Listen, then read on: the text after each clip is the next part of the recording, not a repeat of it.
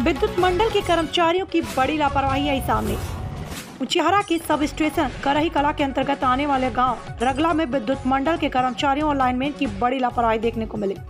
यहाँ एक बिजली का खंभा महीनों से टूटा हुआ है, जिसके तारों में दौड़ता करंट कभी भी किसी की जान ले सकता है। अधिकारियों और लाइनमैन को कई बार इसकी जानकारी देने के बाद भी आज तक किसी के कान पर जू तक नहीं रहेंगी ऐसा प्रतीत होता है कि किसी बड़ी घटना के इंतज़ार में है विद्युत मंडल के कर्मचारी व उनके अधिकारी। उद्घोष समय के लिए उचारा से दीपेंद्र सिंह परियार की रिपोर्ट।